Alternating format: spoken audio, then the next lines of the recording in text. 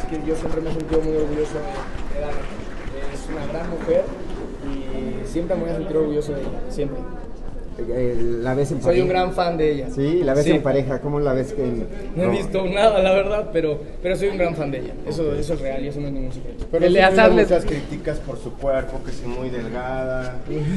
La verdad no, de eso sí, la verdad no es porque no quisiera platicarles ni comentarles, pero no tengo nada que decir de eso. Está Oye, guapísima, ¿no? Está guapísima, claro. sí. guapa. Eleazar, muchos famosos, muchos fans quieren verlos juntos de nuevo en un reencuentro de Atrévete a Soñar. ¿Habría oportunidad de que quisiera trabajar con ella?